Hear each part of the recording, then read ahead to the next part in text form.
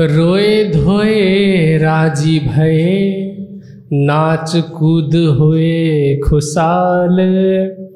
काढ़े अपने अवगुण, ले जबराइल संग हाल।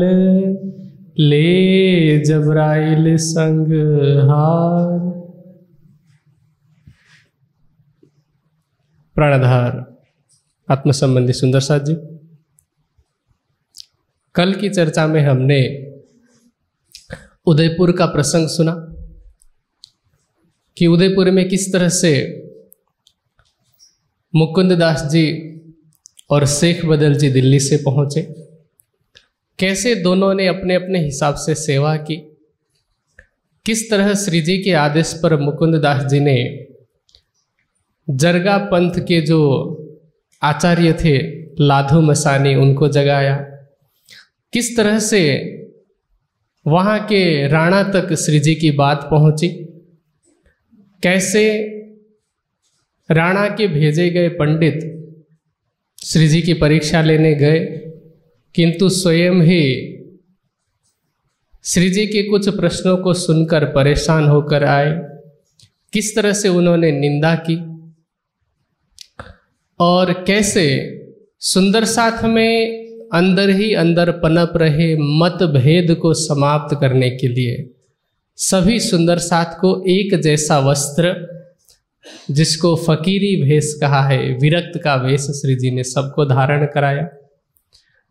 अब आगे कह रहे हैं, इन समय दयाराम, चंचल गंगा राम जो सुंदर साथ औरंगज़ेब के दरबार में गए हुए थे। बारह सुंदर साथ सबका नाम हम सबको लगभग पता ही है, याद ही है। उनमें से कल के प्रसंग में हमने कुछ सुंदर साथ का नाम सुना था। पर जो दिल्ली के स्थानीय सुंदर साथ थे, दयाराम, चंचल, गंगाराम, बनारसी, चूँकि इनके घर वाले दिल्ली में ही रह रहे थे तो अपने अपने घर से विदा लेकर के श्री जी के चरणों में पहुँचे।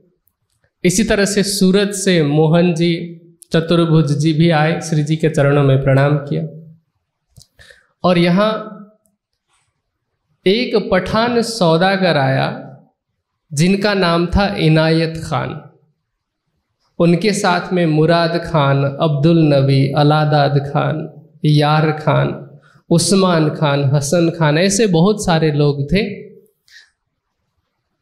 और इनमें से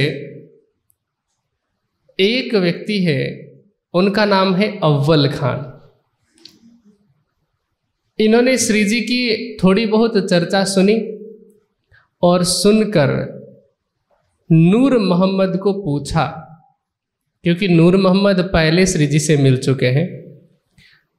नूर मोहम्मद से पूछा कि ये जो वैरागी हैं, इनकी वास्तविकता मुझे बताओ कि इनकी वास्तविकता क्या है।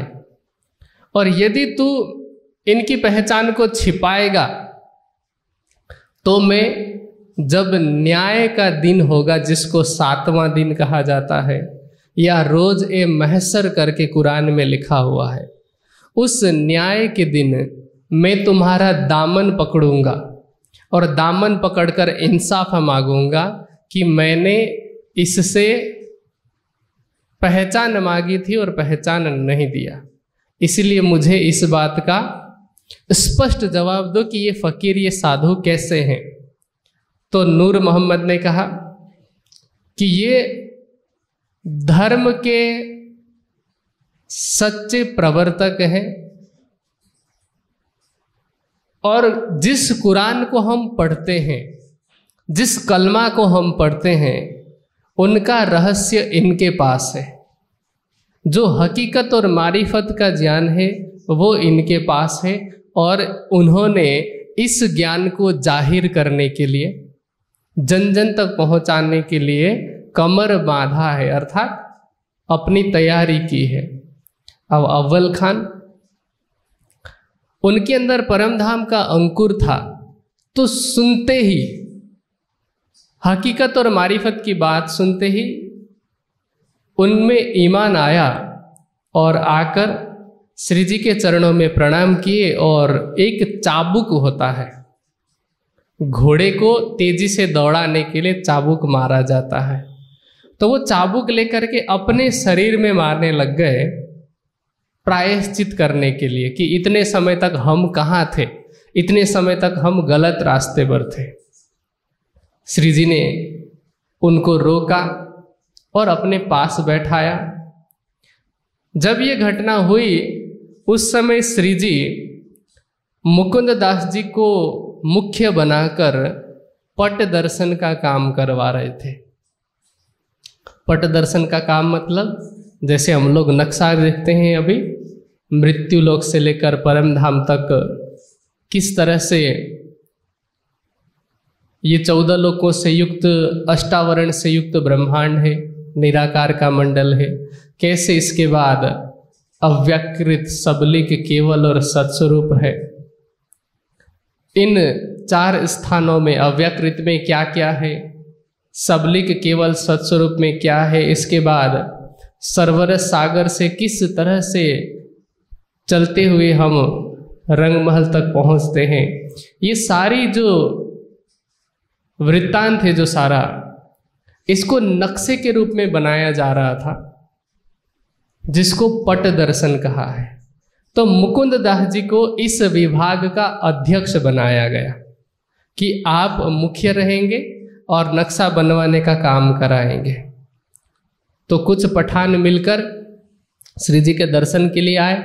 उन्होंने कुरान से संबंधित कुछ बातें पूछी जिसमें, जिस विषय में श्री जी ने चर्चा की।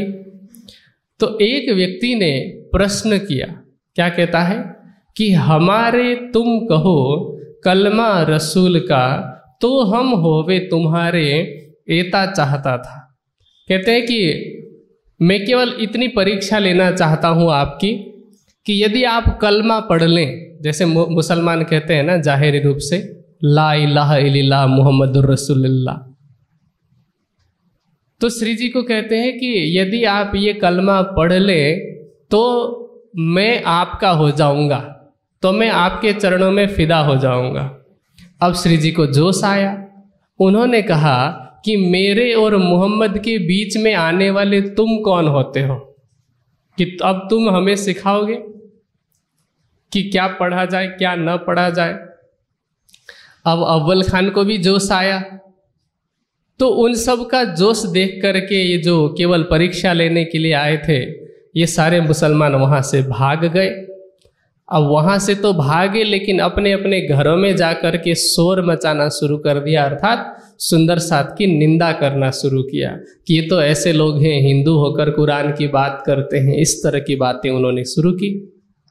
अब एक दिन सुंदर साथ रासलीला के कीर्तन का गायन कर रहे थे। उधर जो उदयपुर का राणा था, वो श्री जी का दर्शन करने के लिए आया। ऐसे ही दूर से ही, क्योंकि पंडितों ने बता रखा था कि उनका दर्शन नहीं करना है, लेकिन बहुत सारे लोगों से प्रशंसा भी सुनी थी तो वो दर्शन करने के नाम पे आया लेकिन क्योंकि उसको बहका रखा था दूसरे लोगों ने तो मुँह छिपाकर दूर ही खड़ा रहा। दूर खड़े होकर रासलीला का गायन करते हुए सुंदर साथ को देखा।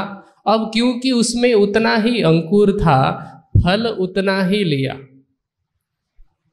अब देखिए, श्री लालदास जी इस प्रसंग में कहते हैं कि ये कैसी विडंबना है कि एक तरफ़ अव्वल खान जो एक मुस्लिम है, उसको तो श्री जी के स्वरूप की पहचान हो रही है और दूसरी तरफ़ राणा राज सिंह हिंदू परिवार में होते हुए भी, एक हिंदू राजा होते हुए भी, क्योंकि पंडितों ने बहकाया है, इसलिए वो स्वरूप की पहचान नहीं कर पा रहा है। कहते हैं, इनों के दिल में शक रहे, राणा के दिल में संशय रहा, ल्याया ईमान अव्वल खान, तीन सौ मस्करी करे भय इनको पूरी पहचान। एक तो राणा राज सिंह अव्वल खान की ये कह करके मज़ाक उड़ाया करता था कि देखो तुम तो हिंदू, एक हिंदू वैरागी के ऊपर ईमान लेकर करके आए हो। तुम्हें एक हिंदू वैरागी के अंदर अल्लाह ताला नज़र आ रहे हैं। इस तरह से वो मज़ाक उड़ाने लगा। इस समय अमरा जी नाम के एक व्यक्ति ने श्री जी से तारतम ग्रहण किया। वे राम सिंह गंगा के घर में रहा करते थे और श्री जी की चर्चा सुनकर उनको पहचान हो गई। इसी तरह से भोगीदास हैं।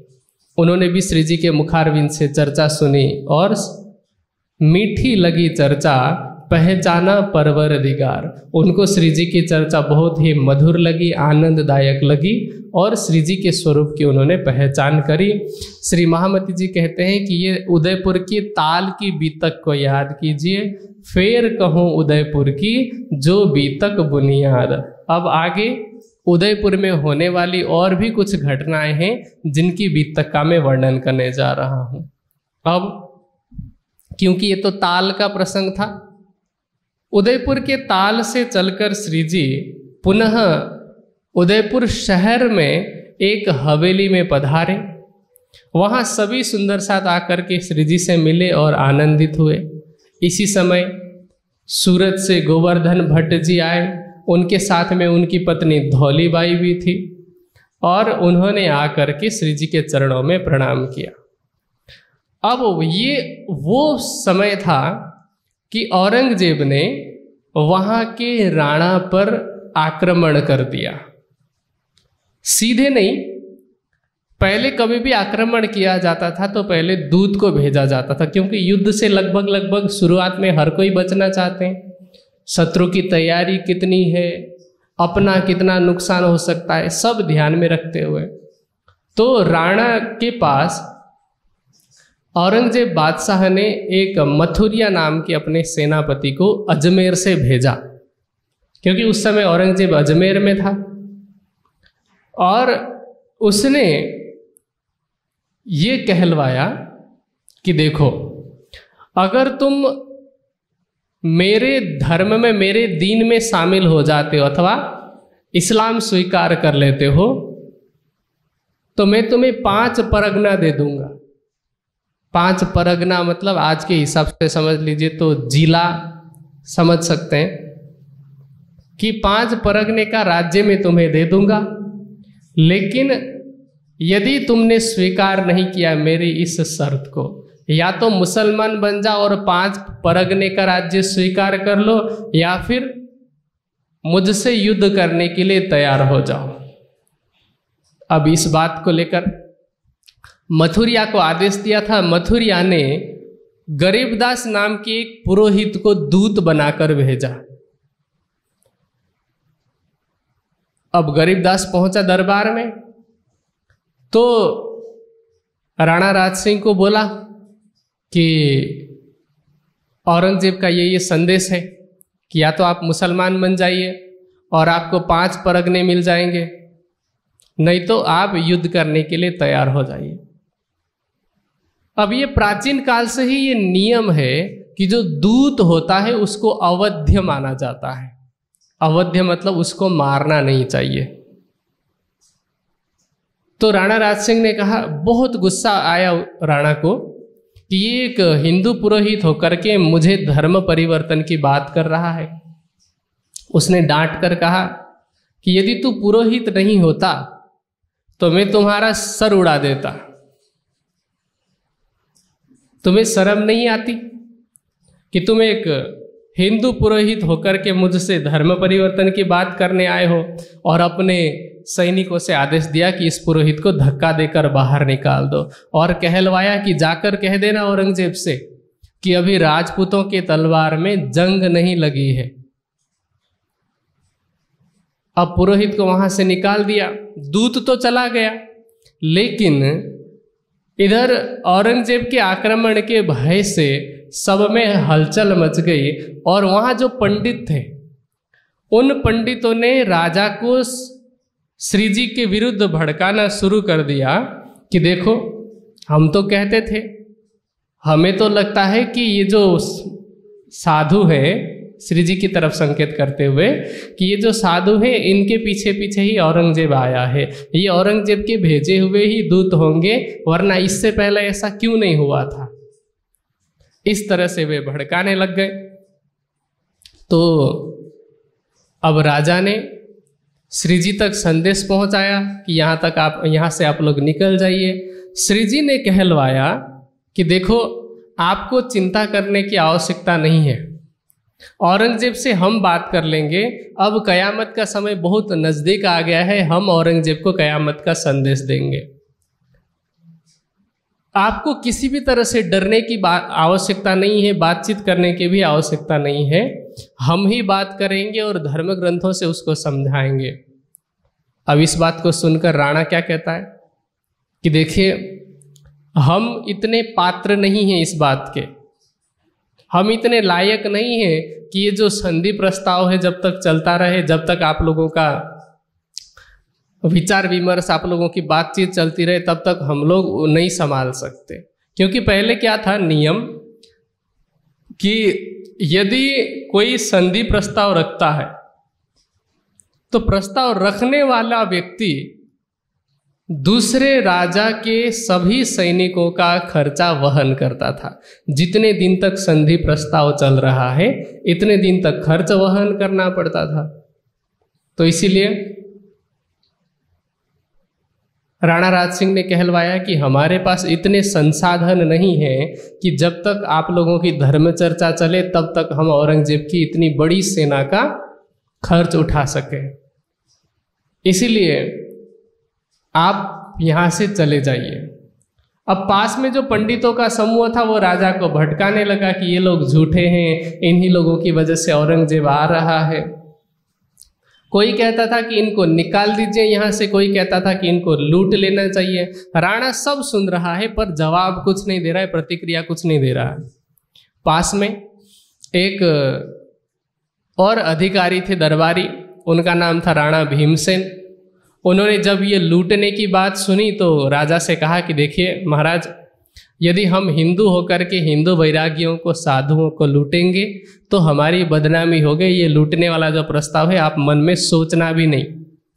और राणा ने कोतवाल को कह करके भिजवाया कि आप लोग यहाँ से दो चार दिन के लिए कहीं बाहर चले जाइए। जब सारा माहौल शांत हो जाएगा जब औरंगज़ेब की सेना यहाँ से वापस चली जाएगी तो आप लोग वापस आ जाइएगा।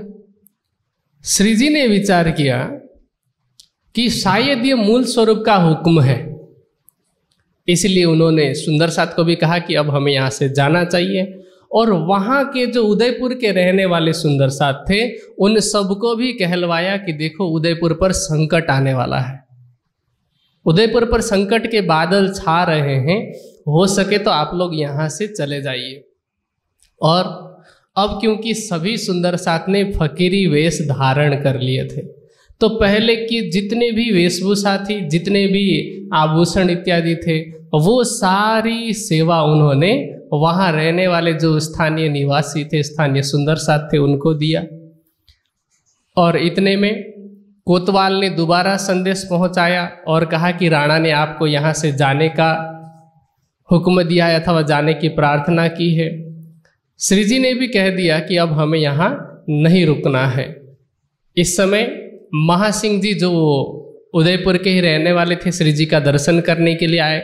श्री जी ने अपने पुराने जितने भी पहले के पहने हुए वस्त्र थे, उनमें से उनको सिरों पाँव पहना करके, सिर से पाँव तक पहना करके सम्मानित किया और कह दिया कि हम तो आपके मुल्क से जा रहे हैं। पर आप लोग भी अब यहाँ नहीं रह पाओगे। हो सके तो यहाँ से चले जाना। और राणा के जितने भी मंत्री थे, कर्मचारी थे, और जितने भी सुंदर साथ थे जिन्होंने श्री जी की पहचान की थी, उन सबको श्री जी सहित सुंदर साथ ने सिरों पाँव पहनाया और स्वयं क्या पहना? पहने चीरक बस्तर, सब सरगुन दिया डार, हुए चलने को तैयार, छोड़ा कार व्यवहार। निर्गुण वस्त्र उन्होंने पहना और वहाँ से चलने के लिए तैयार हो गए। देखिए, निर्गुण वस्त्र और निर्गुण आहार की हम बात करते हैं ना। निर्गुण वस्त्र और निर्गुण आहार का तात्पर्य क्या होता है? हमें कई बार लगता है कि जो सतोगुणी आहार है, जो सात्विक आहार है, उनकी बात हो रही है। या वस्त्र कौन से होने चाहिए?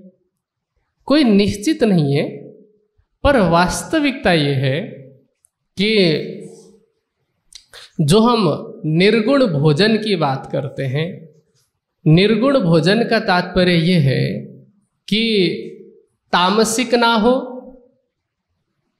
तामसी भोजन किसको कहा जाता है? गीता में श्री कृष्ण जी ने इसकी बहुत सुंदर व्याख्या की और कहते हैं यातयामम गतरसम पूर्तिम परियोषितम चयत उच्चिष्टमपि चामेध्यम भोजनम तामसम प्रियम। जिसका रस जल गया हो, जिसमें से दुर्गंध आ रही हो, जो बासी हो, जूठा हो, तथा जो अखाद्य हो, जो जो मांस है, मछली है, अंडा इत्यादि तो ये सभी तामसी भोजन में आते हैं। फिर राजसी भोजन क्या होता है? तो श्री कृष्ण जी कहते हैं कटु अम्ल लवण अति उष्ण रूक्ष तीक्ष विदाहिना, आहार राजस्यष्टा दुख शोक भय प्रदा जिसका स्वाद अत्यंत कड़वा हो, खट्टा हो बहुत ज़्यादा बहुत ज़्यादा नमकीन हो, और गर्मा गर्म खाना हो, मसालेदार हो, या फिर जो सूख गया हो जैसे हम लोग कई बार क्या करते हैं पॉपकॉर्न खाने की वो प्रवृत्ति है ना वो भी रा, राजसी भोजन में आता है। और जो बहुत ज़्यादा जलन करने वाले तीखे भोजन हैं जिसको खाने से दुख शोक और भय होता है ऐसे जो भोजन है वो राजसी भोजन में आता है। और सतोगुणी भोजन में क्या आता है? जो मधुर है जिसमें रस है, जिसको खाने से, जो स्निग्ध है, जिसमें चिकनाहट है। तो ये कुछ जो भोजन है, इनको सतोगुणी भोजन की श्रेणी में रखा गया है। परंतु जो निर्गुण भोजन है, निर्गुण भोजन का तात्पर्य ये है कि तामसी तो बिल्कुल ही हटा ही दीजिए, तमोगुणी और रजोगुणी। लेकिन सतोगुणी भोजन भी उतना खाया जाए जितना हमारे शरीर को चलाने के लिए, जीवन यापन करने के लिए पर्याप्त हो। जैसे उदाहरण के लिए खीर है। खीर तो मीठा है, उसमें दूध है, चावल है और शक्कर अथवा चीनी है। उस हिसाब से देखा जाए तो ये तो सात्विक भोजन में आना चाहिए। लेकिन ये भी यदि ज़रूरत से ज़्यादा खाएँगे तो ये तामसी बन जाता है। तो भोजन मात्रा का भी ध्यान रखना चाहिए। और जहाँ तक सवाल है निर्गुण भोजन की तो ऐसा भोजन जो हमारे शरीर को चलाने के लिए है, जिसने हमारी जिहवा को अपने वश में नहीं किया है, ऐसा भोजन निर्गुण भोजन कहला, कहलाता है। इसी तरह से जो निर्गुण वस्त्र है, निर्गुण वस्त्र भी कुछ ऐसे ही हैं। देखिए दो प्रकार के वस्त्रों की बात की जाती है। एक, जो सन्यासी है, सन्यासी व्यक्ति भगवा वस्त्र धारण कर लेता है। क्यों? क्योंकि जो भगवा रंग है, वो अग्नि का प्रतीक है। हमेशा ऊर्ध्वगमन का ज्ञान का प्रतीक है। लेकिन अवैदिक मान्यता में ब्रह्मचारी और वानप्रस्थी व्यक्ति के लिए सफ़ेद वस्त्र, श्वेत वस्त्रों को पहनना ही निर्धारित किया गया है। श्वेत इसलिए कहा जाता है कि श्वेत रंग में संसार के सभी रंग समाहित हैं। दुनिया के सभी रंगों को मिला दिया जाए तो सफ़ेद रंग बनता है। तो ये पूर्णता का प्रतीक है। तो वस्त्र कैसा भी हो, लेकिन हम यदि उसका मोह कर रहे हैं तो मुझे नहीं लगता कि इसको निर्गुण कह जाएगा। तन ढकने के लिए और किसी विशेष लक्षण को निहित करते हुए जो वस्त्र पहनते हैं, वो निर्गुण वस्त्र की श्रेणी में आता है।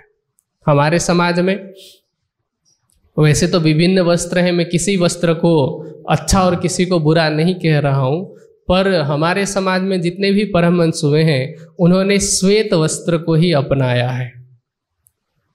हाँ यदि हम भी केवल श्वेत वस्त्र में बंध जाए कि सफ़ेद कपड़ा पहनने से ही जागनी होगी, अन्यथा नहीं होगी तो फिर ये भी मुझे नहीं लगता कि निर्गुण की श्रेणी में आएगा। किसी भी तरह की कट्टरता हमें नहीं पाल लेनी चाहिए। जब हम वाणी में कहते हैं कि वेश भाषा जिन रच्यो रच्यो मायने असल अथवा जुदे जुदे नाम गाव ही जुदे जुदे वेश अनेक। तो मुझे नहीं लगता कि किसी भी प्रकार की वेशभूषा जागने के लिए सहायक या बाधक हो सकती है। हाँ जहाँ ड्रेस कोड की बात आए तो हमें उस स्थान के, उस स्थान की परंपरा के हिसाब से ड्रेस कोड का ध्यान रखना चाहिए। बहुत अधिक भड़कीले वाले वस्त्र भी नहीं पहनने चाहिए।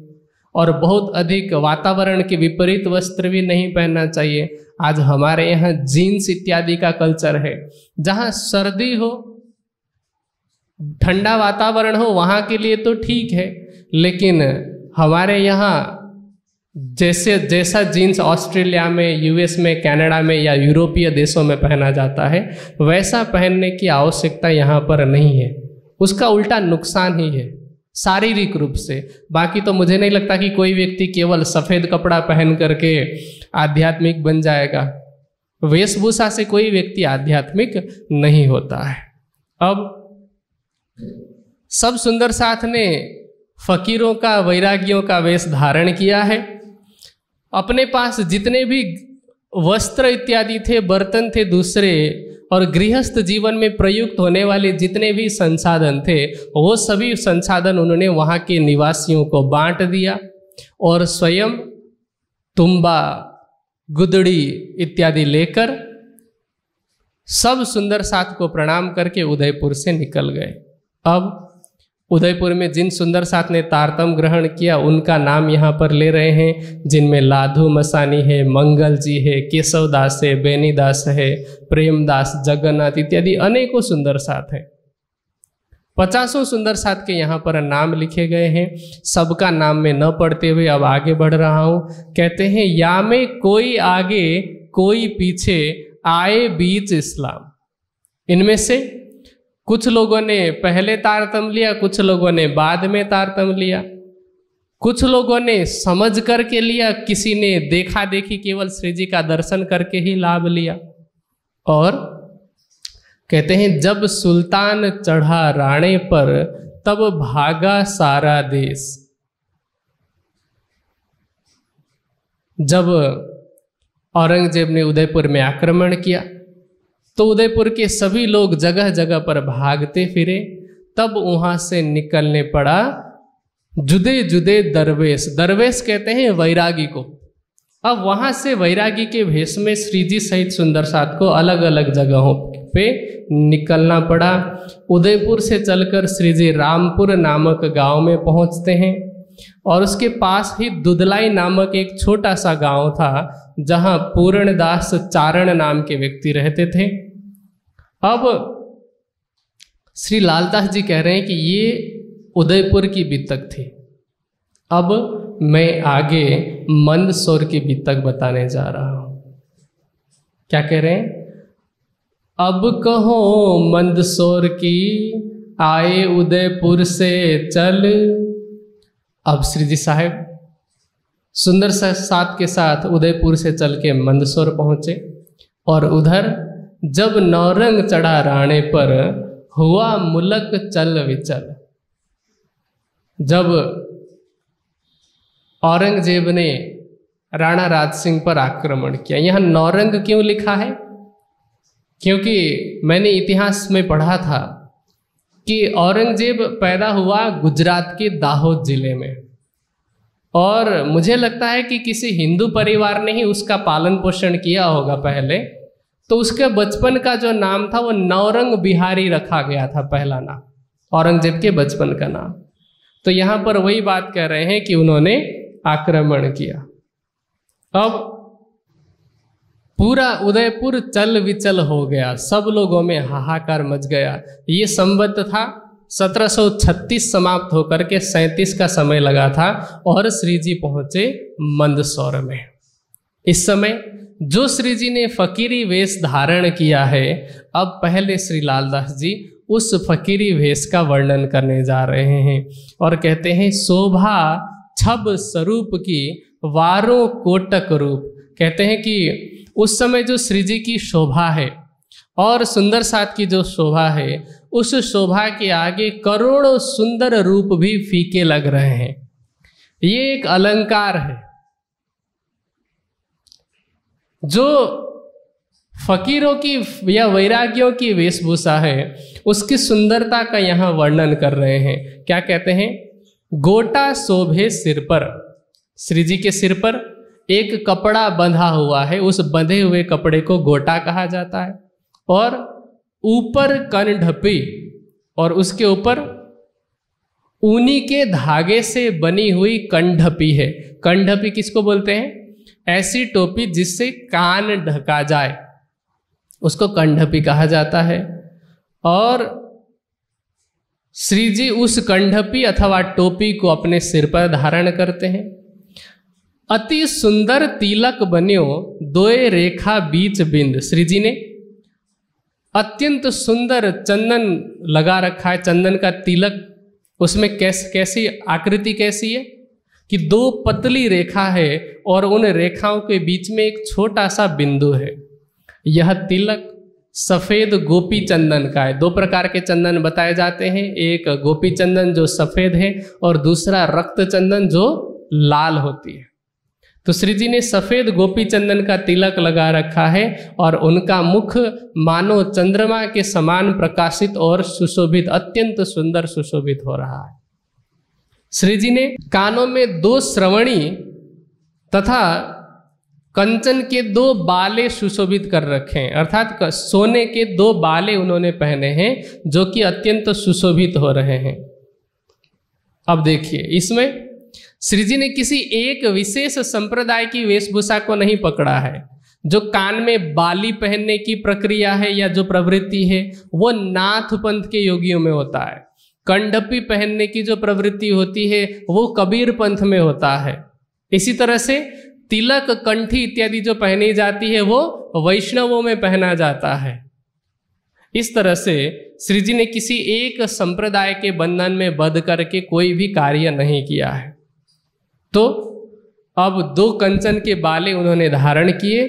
अत राजत छब प्यार के, राजत मतलब राजरी दीप्तो धातु से राज शब्द बना है, अर्थात अत्यंत प्रकाशवान उसको राजत कहा जा रहा है, अर्थात सुशोभित हो रहा है। श्री जी की छवि यहाँ सुशोभित हो रही है और लगा प्यार फकीरी से, श्री जी को इस फकीरी वेशभूषा से अत्यंत प्रेम हो गया है। क्या कहते हैं? आगे कह रहे हैं, पहनी कंठी तुलसी की और बड़ी माला चार। श्री जी ने गले में तुलसी की कंठी पहनी है। कंठी किसको बोलते हैं? जो बिल्कुल कंठ से चिपका हुआ है। ऐसी माला को कंठी कहा जाता है और बड़ी बड़ी चार मालाएँ उन्होंने धारण कर रखी है। अति शोभित अंग मेखली, लोई धागे भरी सुमार और उन्होंने ऊनी के धागों से भरी हुई चादर को भी धारण कर रखा है। अब आगे कहते हैं, और गोदड़ी ओढ़न की हाथों लई बनाए, सेली सुमरनी मुत का अंग शोभित हेताए और गोदड़ी ओढ़न की। श्री जी ने अपने हाथों से पुराने कपड़ों की गुदड़ी बना रखी है, और हाथ में सेली। सेली जो है, वो ऊनी या रेशम के धागों से बनाई जाती है और इसका प्रयोग जो है वो सूफी संत जो होते हैं वो किया करते हैं। सुमरनी जो है वो छोटी माला है। जैसे कुछ लोग ऐसे होते हैं कि गिन करके किसी अपने आराध्य के नाम का या गायत्री का जप किया करते हैं तो ऐसे सुमरनी और मुतका छोटी छोटी मालाएँ उन्होंने धारण कर रखी है। एक हाथ में उनके छड़ी है।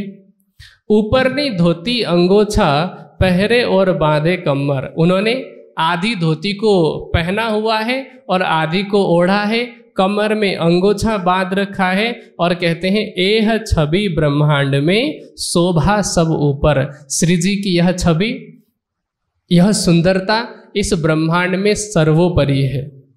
श्री जी के हाथ में एक कद्दू का बना हुआ जल का पात्र है, जिसको तुम्बा कहा जाता है। आजकल तो तुम्बा देखने को भी नहीं मिलता होगा। इसको हिंदी में पेठा भी कहा जाता है या कुम्हड़ा भी कहा जाता है। आप आदिवासी भीलों की तरफ़ जाएँगे तो वो लोग तंबूरा भी कहते हैं। वो होता क्या है? तंबूरा बाजे की मैं बात नहीं कर रहा हूँ। जो कुम्हड़ा होता है, जिसकी मिठाई बनाई जाती है, उसको तोड़ करके पहले जब वो पुराना या जब वो सूख जाता है तो उसको काट करके अंदर का जो गुदा होता है, उसको निकाल लिया जाता है और सुखाया जाता है। अब बर्तन की तरह वो बन जाता है। तो उसको पानी भरने का उससे काम लिया जाता है, उसको तुम्बा बोलते हैं।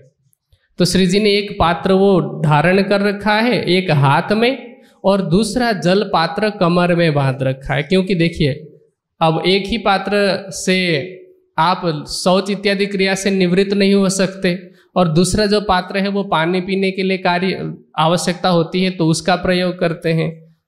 और कहते साज सबे झोली मिने, राखत कांध कमर। और श्री जी ने बाकी जितने भी आवश्यक सामग्री हैं, उनको एक झोली में रखा हुआ है, जिसे श्री जी अपने कांध पर लटका के रखते हैं।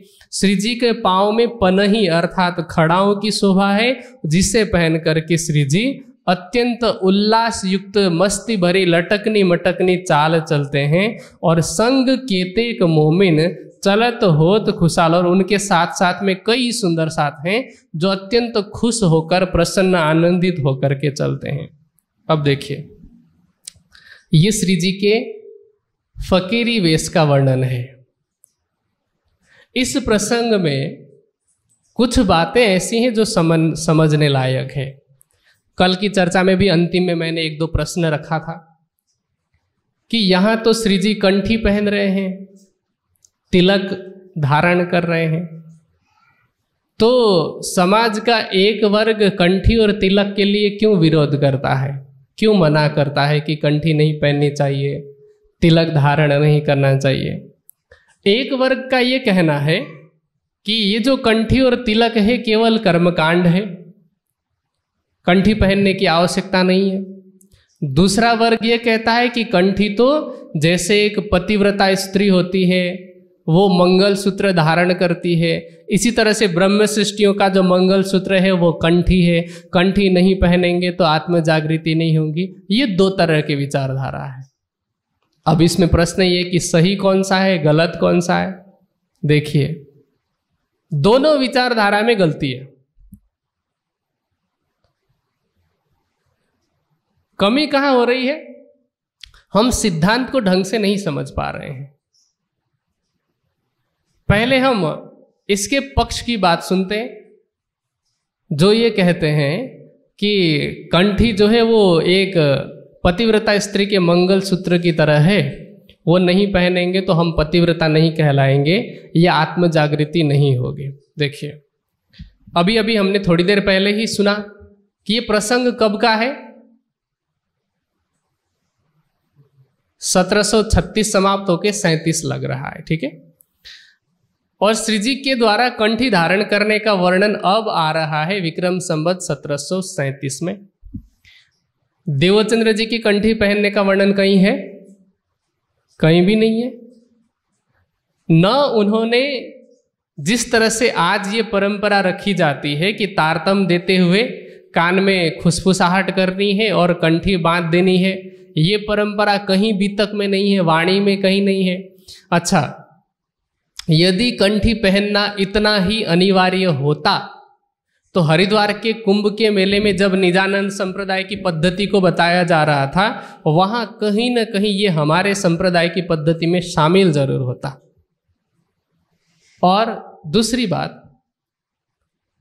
शाहजहांपुर बुढ़िया तक पहुँचते पहुँचते जब वहाँ मिर्गी का दौरा चला था, कई सुंदर साथ का वहाँ धामगमन हुआ, लेकिन उनको श्री जी के स्वरूप की पूर्ण पहचान थी तारतम ज्ञान वो ले चुके थे, लेकिन कंठी धारण नहीं किया था। क्या उनको दोबारा जन्म लेना पड़ेगा कंठी धारण करने के लिए? उनकी तो जागनी हो गई। अच्छा इंद्रावती जी ने को राज्य का पूर्ण रूप से दीदार हुआ हबसे के जेल में? 1715 तो क्या उस समय कंठी बाधा नहीं बनी? कंठी नहीं पहना। चंदन का भी कोई वर्णन नहीं है। तो देखिए, जो ये कहते हैं कि जब तक कंठी नहीं पहनेंगे, तब तक जागृति नहीं होगी यह पूरी तरह से आडंबर है। क्योंकि जागनी का कंठी से कोई भी लेना देना है ही नहीं। इससे पहले भी सत्रह सौ सैंतीस से पहले कितने सुंदर साथ का धाम गमन हुआ होगा? लेकिन जागनी तो उनकी हो गई थी। और जो ये कहते हैं कि श्रीजी ने कंठी पहनी तो हमें भी पहनना चाहिए, अनिवार्य कर देना चाहिए। तो उनको मेरा ये जवाब है कि श्रीजी के कमर में एक तुम्बा बंधा रहता था और एक हाथ में रहता था। आप वो भी धारण करें। और एक कंठी नहीं रहती थी। चार और मालाएँ भी रहती थी। हाथ में सेली, सुमरने, मुतका भी रहते थे। लोगों ने क्या किया? विशेष रूप से गादीपति महाराजों ने दो बातें अपना ली। एक कंठी का, दूसरा कंडपी का। यदि कंडपी भी यदि कंठी इस तरह से अनिवार्य किया जा रहा है तो फिर कंडपी भी गादीपति ही क्यों पहने? फिर सुंदर साथ भी पहने? सबको पहनाया जाए। यहाँ तो केवल गादीपति अपनी अलग इमेज दिखाने के लिए अलग से पहनते हैं कि हम अलग हैं। या तो वो भी सब में अनिवार्य कर दिया जाए। तो इसीलिए केवल कंठी और कंढपी की नकल करने पर्याप्त नहीं है। श्री जी तो खड़ाऊ पहनते। जागने के लिए आठ महीने तक भिक्षा का अन्न भी ग्रहण किया।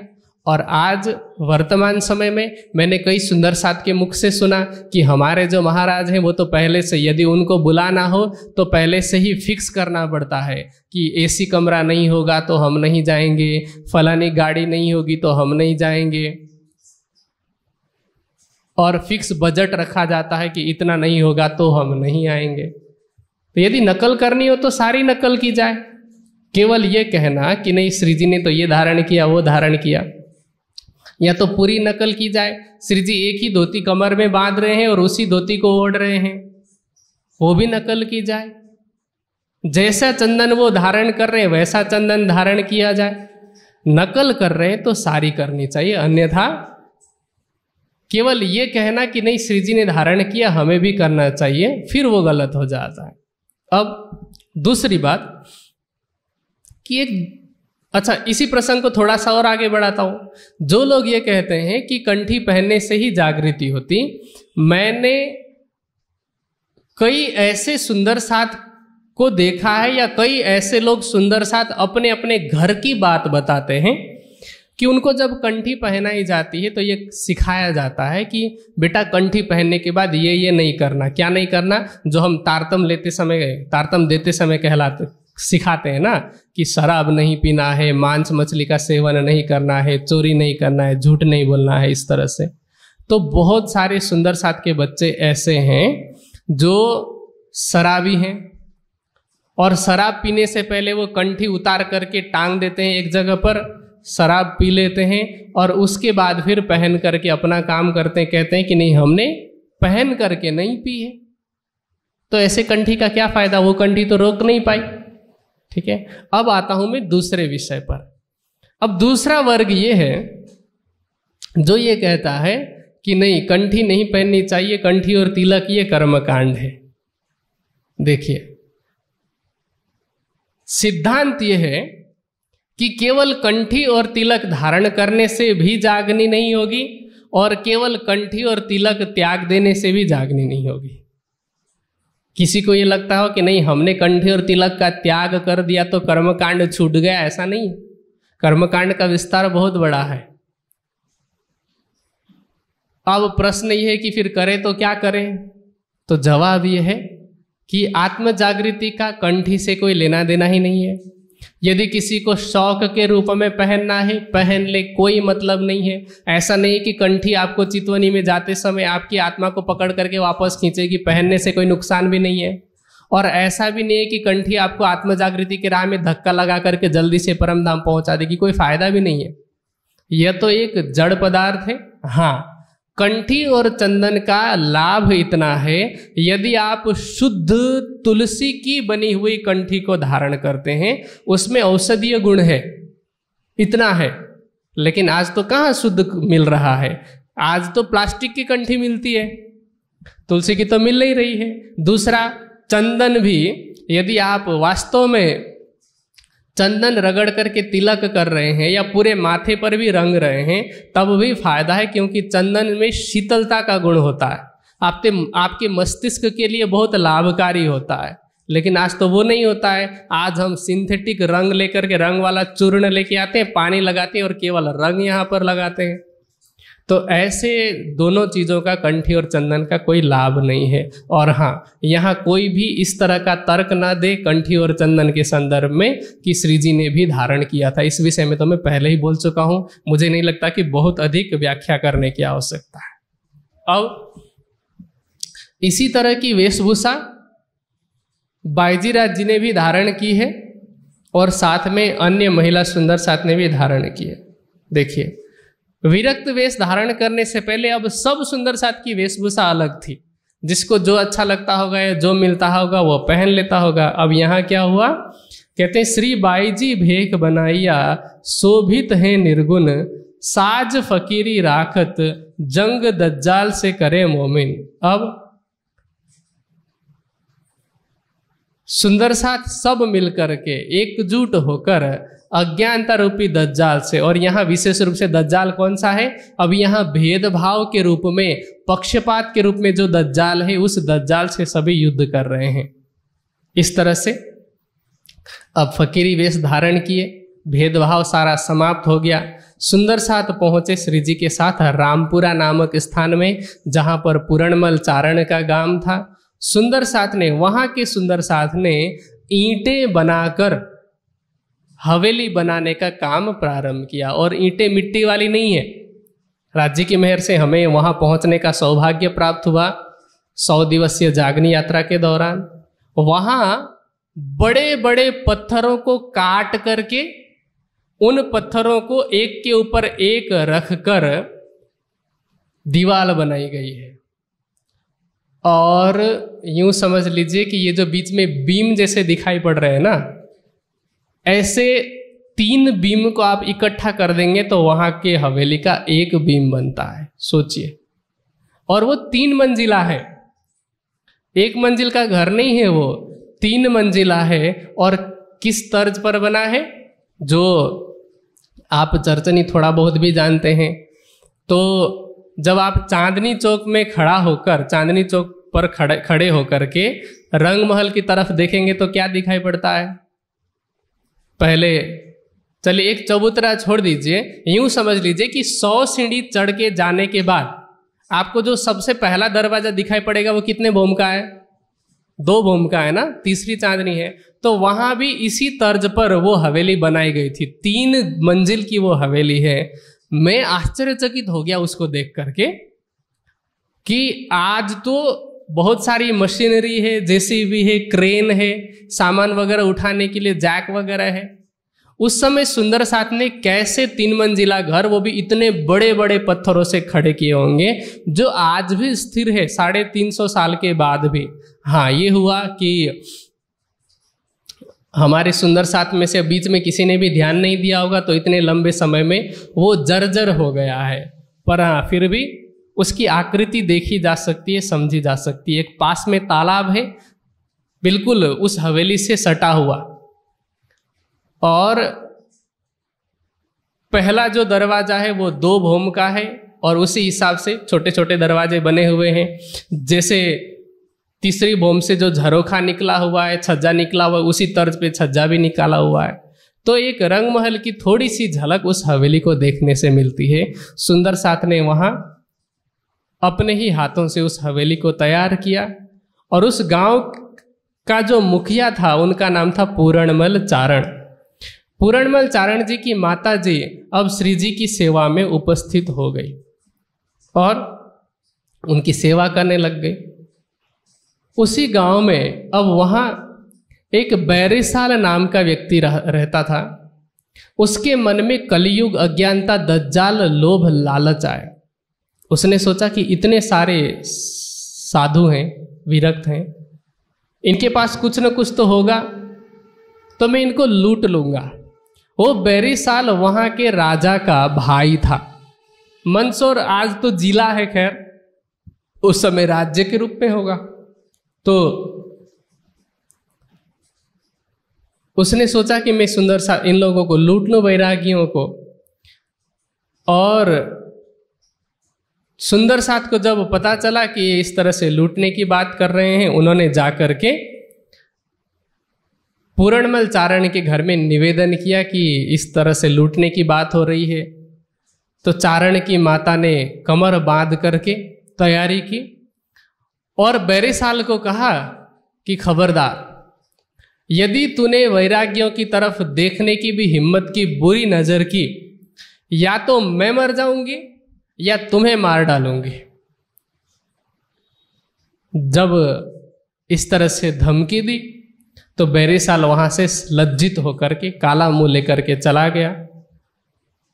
अब उस हवेली को छोड़कर श्रीजी सहित सुंदर साथ मंदसौर गए। ये मंदसौर और ये जो गाँव है, लगभग लगभग 40 या 45 किलोमीटर का फ़र्क है, इतनी दूरी पर है। वहाँ हरि प्रसाद की हवेली में श्रीजी सहित सुंदर साथ पहुँचे और अब उसी समय मंदसौर में औरंगज़ेब के सैनिक अलग अलग जगह पर रह रहे थे। साई शाही सेना ने वहाँ पर पड़ाव डाला।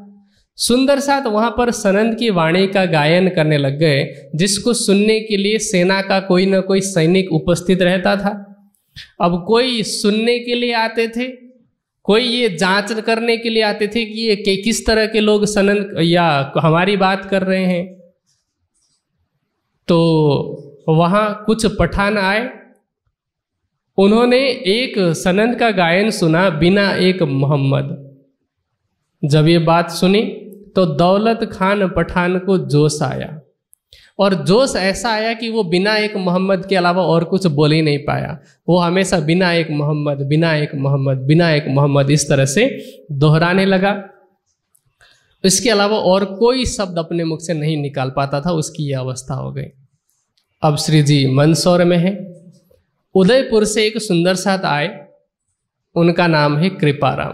कृपाराम जी सुंदर साथ का संदेश लेकर के आए, उन्होंने प्रार्थना की कि श्री जी साहब,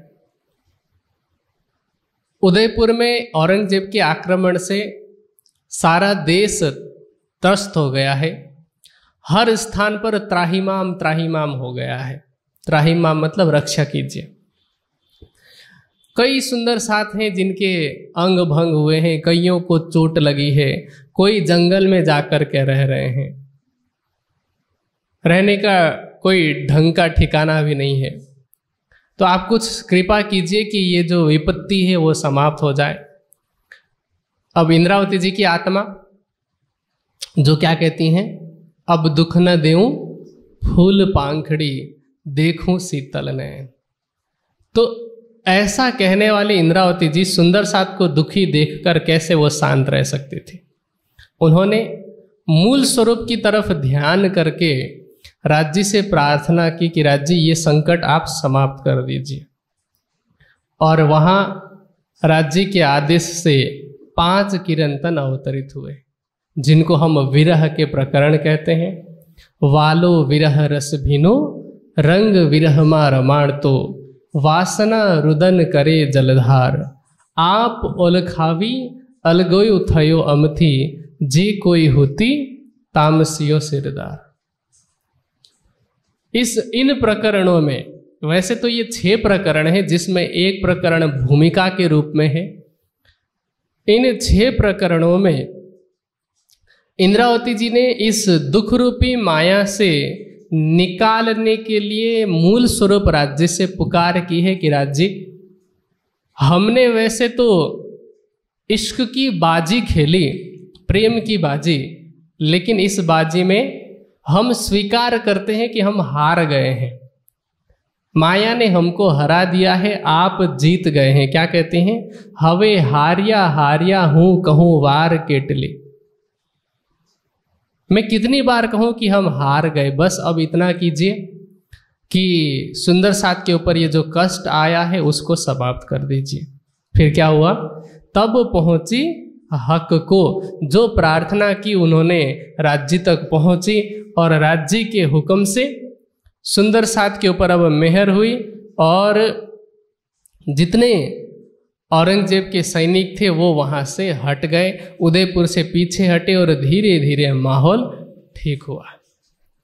सुंदर साथ के मन में प्रश्न आता है कि कई बार हम जब चर्चा सुनते हैं तो इस बात को लेकर के मना किया जाता है कि राज्य से कुछ मांगना नहीं चाहिए। अब यहाँ इंद्रावती जी तो मांग कर रही हैं। वास्तविकता क्या है? वास्तविकता यह है कि हमें कभी भी राज्य से अपने स्वार्थ के लिए कुछ भी नहीं मांगना चाहिए। अपने लिए यदि कुछ मांगे तो क्या मांगना है?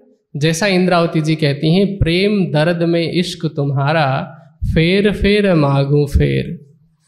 हमें राज्य से उनका प्रेम मांगना है, राज्य के न मिलने का दर्द मांगना है। हाँ जब कोई दूसरा व्यक्ति दुखी हो, निस्वार्थ भाव से जब हम प्रार्थना करते हैं तो वाणी कहती है, तहकीक अर्ज़ पहुंचत है, जो भेजिए पाक दिल।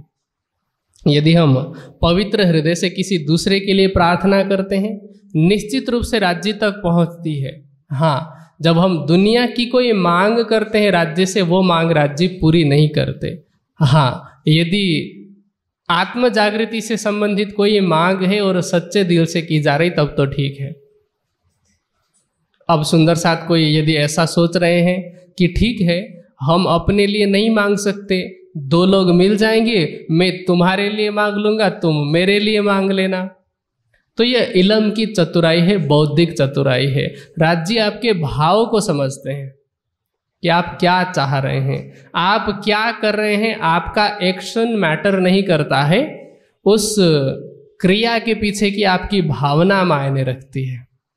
इसीलिए हमें वाणी के इन प्रकरणों को कभी भी ऐसे ब्लैकमेलिंग के तौर पर प्रयोग नहीं करना चाहिए। हाँ कोई भी सुंदर साथ अत्यंत दुखी हो, परेशान हो तो उनकी परेशानियों से निजात पाने के लिए हम राज्य से प्रार्थना कर सकते हैं। और आज भी होता है।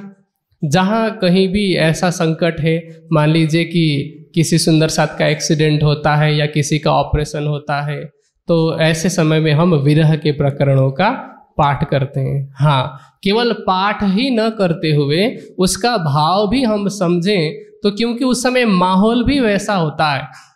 दुख का माहौल होता है। हमें संसार की वास्तविकता भी समझ में आती है। और अपनी वास्तविकता भी समझ में आती है और दुनिया से तीव्र वैराग्य भी होने की संभावना है। तो हमें अवश्य ऐसा उन प्रकरणों को पढ़ना चाहिए। अब श्री जी की श्री जी ने जो प्रार्थना की मूल स्वरूप की तरफ़ तो उस प्रार्थना को स्वीकार करते हुए सुंदर साथ के ऊपर आया हुआ जो कष्ट था वो समाप्त हो गया। उस समय इब्राहिम नाम का एक व्यक्ति श्री जी के दर्शन के लिए आया। और श्री जी की संगति से वो खुश भी हुआ। फिर दोबारा आया। अब लालदास जी से जब उनकी मुलाकात हुई तो लालदास जी क्योंकि वो मैनेजमेंट की सेवा करते थे, उनके दिमाग में हमेशा ये बात रहती थी, क्योंकि जो मैनेजर होता है ना, देखिए, जब मैनेजमेंट पढ़ाया जाता है तो एक प्राथमिक शिक्षा उनको दी जाती है कि यदि आपके पास एक ऐसी मशीन हो जिसमें सौ अलग अलग पुर्जे लगते हो। यदि आपके पास एक पुर्जा है तो आपको बाकी निन्यानबे पुर्जे खोजने हैं। और आपके पास निन्यानबे पुर्जा है तो आपको एक पुर्जा बनाना है। क्योंकि एक भी पुर्जा नहीं रहा, तब भी काम नहीं हो सकता। एक मशीन में चाहे कितना भी बड़ा, बड़ी मशीन हो, कितनी भी उसमें एक छोटे से नट बोल्ट का भी अपना महत्व होता है। छोटे से स्क्रू का, छोटे से स्प्रिंग का भी अपना महत्व होता है। ये बात मैनेजमेंट को पता होना चाहिए। लालदास जी, क्योंकि मैनेजमेंट में वो माहिर है, वो सोचते हैं कि हम इस कौन से व्यक्ति से कौन सी सेवा ले सकते हैं, कौन सा कार्य ले सकते हैं। उन्होंने इब्राहिम को देखा, इब्राहिम के विषय में जाना तो पता चला कि इससे हम कुरान का अनुवाद करा सकते हैं। उन्होंने एक कुरान की, एक सूरत की टीका करवाई हिंदुस्तानी भाषा में और श्री जी को सुनाया। श्री जी ने सुनते ही आनंदित होकर के कह दिया कि आप पूरे कुरान का अनुवाद करा दीजिए। लालदास जी ने उनको थोड़ा सा लालच भी दिया कि हम आपको कुछ वेतन भी देंगे। अगले दिन से उसने अनुवाद करना शुरू कर दिया। सबसे पहले उसने सोलहवें पारे की टीका की। उसके दो प्रकरण की टीका जब हो गई, लालदास जी ने श्री जी को सुनाया। उसके बाद अब श्री जी बहुत अधिक प्रसन्न हुए और कहते हैं कि नहीं, आगे और भी करना है। दिन में टीका की जाती थी, रात को वो पढ़ करके सुनाया जाता था। एक दिन रात को बैठे हुए थे और कुरान की टीका करवा रहे थे। लालदास जी और इब्राहिम मिलकर टीका कर रहे हैं। श्री जी पास में बैठे बैठे सुन रहे हैं। टीका करते करते इब्राहिम ने कहा कि ये तो किसी राबसी ने इसमें कलम चला दी है। देखिए, इस्लाम में विशेष रूप से दो संप्रदाय वैसे तो बहत्तर हैं, पर विशेष रूप से दो हैं। एक है सिया, एक है सुन्नी। जो सिया वर्ग है उनको माना जाता है कि ये बहिष्कृत हैं। सुन्नियों से बहिष्कृत किए गए। और जो सुन्नी संप्रदाय है, उनके विषय में सिया सोचते हैं कि ये बहिष्कृत हैं। दोनों एक दूसरे को राफजी शब्द का प्रयोग करते हैं। राफजी का शाब्दिक अर्थ होता है जो राह से भटक गया हो या भटका हुआ। तो अब इब्राहिम क्योंकि सुन्नी था, कुरान की टीका करते करते उसको एक ऐसी बात मिली जिसको पढ़ करके उसने कहा कि ये तो किसी भटके हुए व्यक्ति ने लिखा, किसी उसके हिसाब से किसी सिया ने टीका की है। श्री जी ने कहा, पढ़ के तो सुनाओ क्या लिखा है? तो इब्राहिम ने क्या कहा? कहते हैं कि तब कहा इब्राहिम ने, जो सुन्नी मुसलमान मोहम्मद की उम्मत के अर्जी न पहुँचे कान। क्या कह रहे कि कुरान में लिखा हुआ है कि जो सुन्नी मुसलमान होगा, उसकी कोई भी अर्जी खुदा तक नहीं पहुंचेगी। अब उसके हिसाब से क्या लगा कि ये किसी सिया ने लिखा है? क्योंकि सुन्नी वो किसको समझते हैं? जिसने सुन्नत करा रखा हो। जबकि यहाँ सुन्नी का तात्पर्य है, जो ईमान में दृढ़ रहे, सुनते ही जो दृढ़ दृढ़ता पूर्वक ईमान लेकर के आए। श्री जी ने कहा, नहीं इसमें गलत कुछ नहीं लिखा है, जैसा लिखा है तुम वैसे ही टीका करो। क्योंकि वास्तविकता क्या थी? अभी थोड़ी देर पहले ही हमने प्रसंग सुना कि श्री जी ने किस तरह से अर्जी करी। यहाँ वास्तविकता यह है कि जो कोई सच्चे दिल से परमात्मा से प्रार्थना करता है, उस तक तो केवल प्रार्थना ही पहुँचती है। चाहे हम भोग लगाएँ, चाहे हम आरती करें कुछ भी करें, उस तक तो कुछ पहुँचने वाला नहीं है। और क्योंकि कुरान का प्रसंग चला है, एक प्रसंग आता है कुरान में, जिसमें ये कहा गया है कि खुदा तक न गोश्त पहुँचता है। गोश्त मतलब मांस, न हड्डी पहुँचती, न चर्बी पहुँचती, न खून पहुँचता है, कुछ भी नहीं पहुँचता। उस तक तो सच्चे दिल से किए किया गया तकवा पहुँचता है। मतलब उसकी इबादत पहुँचती है, प्रार्थना पहुँचती है। अभी थोड़ी देर पहले हमने चौपाई सुनी कि तहकीक अर्ज़ पहुंचत है जो भेजिए पाक दिल। तो यहाँ भी वही प्रसंग है कि जो लौकिक कामना होगी, लौकिक इच्छा होगी, वो पूरी नहीं होगी। जो ईमान वाला व्यक्ति है, उसकी लौकिक इच्छा पूरी नहीं होगी, इसलिए आपने देखा होगा, आज तक जितने भी सच्चे भक्त हुए परमात्मा के, इस दुनिया में जो संसार में भी भक्त हुए, जिनको भले ही परमात्मा की पहचान नहीं है, पर जिन जिन को भी वो अपना आराध्य मानते रहे हैं, उन सब का जीवन कष्टप्रद रहा है। लौकिक सुख उन्हें नहीं मिला है। कष्टमयी, तपोमयी जीवन रहा है। तो यही बात यहाँ पर चल रही थी। तो श्री जी ने कह दिया कि यहाँ पर जो कट्टरपंथी सुन्नी मुसलमान हैं, उनकी बात नहीं हो रही है। यहाँ तो ब्रह्म सृष्टियों की बात हो रही है, इसलिए तुम इधर उधर शब्द मत करो, जैसा लिखा है, वैसा ही अनुवाद कर दो। और तुम्हारे अंदर अभी वो औकात नहीं है, तुम्हारी वो क्षमता नहीं है कि इसकी बात को तुम समझ सको। इस तरह से श्री जी ने उनको सख्त शब्दों में कह दिया। अब वहीं पास में एक चबूतरे पर श्री जी टीका पढ़ने के लिए बैठ गए, जिसमें सुंदर सात की ही बीतक लिखी हुई थी, जिनको देख करके कहते हैं, अब अपनी बात के सबविद भय कारज, अब तुम्हें करना कछु ना पड़े, रही न कोई गरज. श्री जी सुंदर सात को कहते हैं कि, सुंदर सात जी, अब आपको और कुछ करने की आवश्यकता नहीं है। क्योंकि सनंद की वाणी का अवतरण हो चुका है और यहाँ कुरान का अनुवाद भी किया जा रहा है। तो वेद और कतेब को एक करने के लिए अब और कुछ करने की आवश्यकता नहीं है। अब हमारा कार्य बन गया है। अब ए सब साथ को लिखो खुश खबर, मेहर भई श्रीराज की, सो लिखी तुम ऊपर। श्री जी ने लालदास जी को यह आदेश दे दिया। कहते हैं कि लालदास जी आप सभी सुंदर साथ को ये शुभ समाचार दे दो कि राज्य की मेहर से अब कुरान की भी टीका हिंदुस्तानी भाषा में हो चुकी है। अब हमें केवल वेद और कतेब को एक करने के लिए प्रयास करना है। हमारे पास है, पर इसको हमें दूसरों तक पहुंचाना है। ये संदेश सब सुंदर साथ को दे दीजिए और बताइए कि पूरे विश्व को तारतम ज्ञान के माध्यम से एक करने का समय आ गया है। इस तरह से लालदास जी को पत्र लिखने का आदेश दिया। आगे, किस तरह से अब इब्राहिम के मन में दज्जाल आता है, उसके मन में पाप आता है, वो कैसे जाकर दूसरे सैनिकों को भटकाता है? और किस तरह से अब इब्राहिम के द्वारा सैनिकों को भटकाए जाने पर सैनिक जगह जगह पर सुंदर साथ को ढूंढते फिरते रहते हैं और सुंदर साथ को अब छिपते हुए भिक्षा मांग करके गुजारा करने की नौबत आती है। इस प्रसंग को सुनेंगे हम कल। अभी के लिए समय पूरा होता है चौपाई दोहराइए। अब ए सब साथ को लिखो खुश खबर। मेहर भई श्रीराज की सो लिखी तुम ऊपर। सो लिखी तुम ऊपर। बोलो श्री प्राणनाथ, बोलो श्री सदगुरु महाराज। प्रणाम